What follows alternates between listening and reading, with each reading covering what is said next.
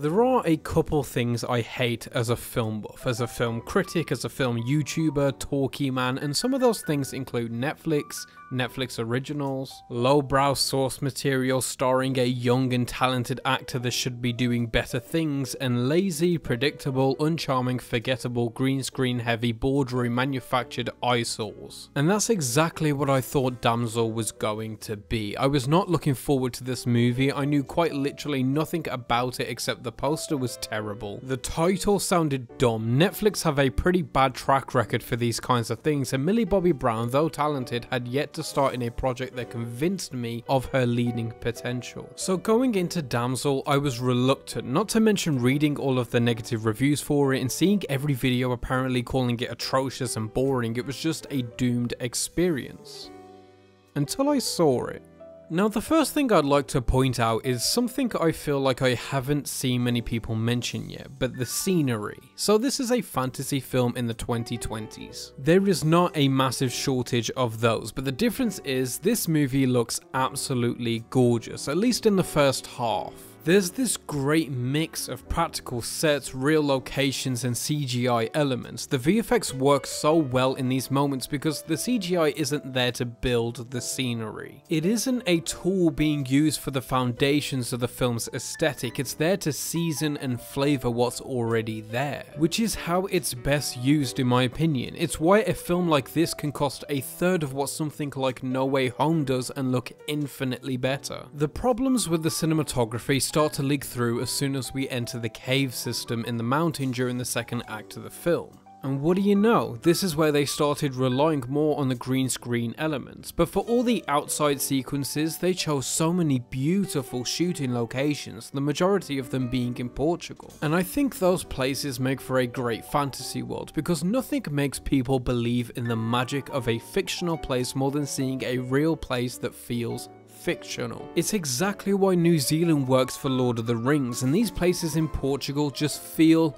magical. Just look at these. I'm in awe of seeing these locations. And the aid of these environments is that it forces a bright and bold colour palette, which is so nice in a world of mainstream streaming movies and TV being so washed out and bland visually. And that works its way all the way down to the costume design, which is stunning. The details in the crowns and dresses, general costuming and hairstyling, is a very pretty and clearly thought about aspect of the movie. It's sad the latter half of the movie loses a lot of this personality, but I will say a lot of the cave aspects are cool in their own right, and the dragon design itself is incredible. It's very unique and super impressive, very high quality CG work too. And I think the aesthetic goes hand in hand with a lot of very nice shots that are more than just look at this pretty thing. Like, I love this one shot of the mountain over the city in the first night of the kingdom. It just drives home the towering presence of the mountain and its implications in the story. Like I said, I knew nothing about the film, nothing about its premise or characters or anything, so going in completely blind, this visual storytelling is so preferable to the idea of just expositing information at the audience using character dialogue. There's this cool shot of this flock of birds on fire lighting up this dark and dingy cave, this one shot nearing the end where the dragon's fury causes him to light up the mountain which gives us this kind of Mordor feeling which I think is very powerful, which is down to the writing of the dragon itself and how it marries with the visuals. They hardly show the dragon for the majority of the movie, they really build the suspense and aura of the creature. It's a good way to save money by not having to render this entire thing for every shot, but also helps the audience buy into the dragon's presence and its weight in the stakes. You feel the effects of its existence through the fear of the characters you follow, and it's just a very effective way to build an antagonist. I love this one moment of the dragon's mere presence making this ice melt, its breath being so hot that its exhale thaws out pure ice. And the fact that its fire is much more than fire, it behaves like lava almost, it turns to liquid as it hits solid surfaces, it makes it so much more intimidating than regular fire. It's an interesting conceptual choice, the only thing I don't really love with the writing here is that the dragon has like wall hacks, it finds Elodie no matter where she is. But you can kind of fantasy creature senses explain that away. The writing otherwise is pretty strong. Nothing groundbreaking, but it does have a few interesting choices that I think are being fairly underrated, like the stepmother not being awful. It would have been all too easy to make the stepmother in the fantasy story evil and hateful. Instead, she is actually caring and the movie benefits a lot from it despite it being the more difficult avenue to take the character. And with this choice, they unlock so many opportunities that other fantasy films don't get to have, like the fact the father seemingly knows what fate he's giving his daughter, whilst the stepmother seems to actually care and give warning to Elodie over. She's not aware of the situation, but she knows something is wrong, so she warns her. And they have this conversation, which I think is very important to Elodie's character because it demonstrates to us that she isn't a one-track minded individual. There's loads of hints to that before this, but the fact that she isn't instantly dismissive of the idea that the royals are bad people and this wedding is a scheme of some kind tells us a lot of her intelligence and respect for her stepmother's judgment and the way they take this character into a subversive place allows us to have these character moments for our protagonist. It isn't subversion just for the sake of subverting every trope that we know in fantasy, it plays a part in the story. And with Elodie's intelligence being a key aspect of the story, small moments like this build a good and solid character to follow. So later on when she uses her resourcefulness to repurpose her necklace to capture fire instead of just simply making a torch, or the same with the slugs, using the old crown as a climbing instrument, using armor to makeshift a booby trap. It's just charming bits of character moments where we see her intelligence rather than get told constantly that it exists. And in the end, her resourcefulness is what wins her the day and her compassion, which is a strong character trait. Her immediate reaction to all animals is to help, so these little moments work towards making that final resolution satisfying. Also, because I didn't know anything, I was predicting she'd be some kind of sacrifice, but when he gets revealed, I was so absolutely hooked.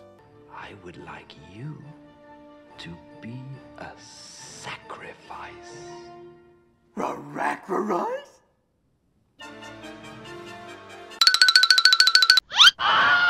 I think the story takes a lot of influence from Arthurian legends, but it weirdly reminds me a lot of The Black Phone from 2022. The idea of Elodie getting into this cave where previous brides have drawn a map and are helping future brides escape is very reminiscent of The Black Phone, and I thought that was pretty cool. And it's just a way to build out the world in a fun and visual way, and this film does build a very interesting world, one that's rich with potential. I love these little slugs that glow and can heal wounds, and it's cool how we see that she's good at labyrinths and mazes, so when she sees the map of this cave system, it's within her nature to figure it out. And this ability is even given a reason to exist. I mentioned before that her father seems to know exactly what's going to happen to Elodie and he doesn't care because he needs to help his people, which I also think is a great story choice. The idea of a bad father but good leader. Then of course he has a change of heart and dies trying to save his daughter. He gets a very minor redemption arc which is admirable to even attempt. I also like the idea of her escaping and having to go back. It shows us her growth and then we get to see her redo this journey she's been on and how much she's improved. And I do love this one sequence of her figuring out the cave system. It's like me on my first night on Minecraft after mining for the first 6 hours. And the film gets pretty dark at times. There's more blood than I expected to see. It has a gorgeous score. I mean, just listen to this.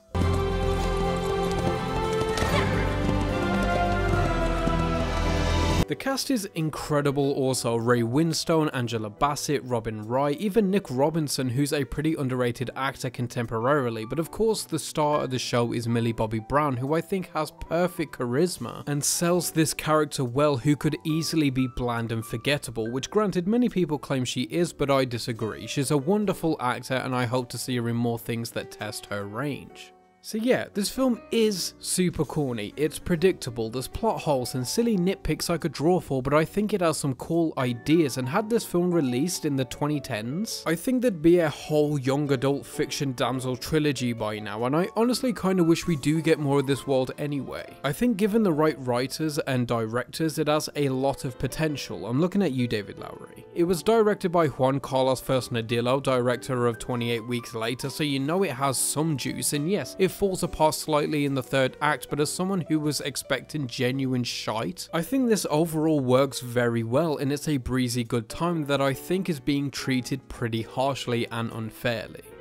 But that's just me. What do you think? Have you seen Damsel? If so, what did you think? If not, will you? And whether it's a young adult fiction Netflix original or not. As always, keep watching movies.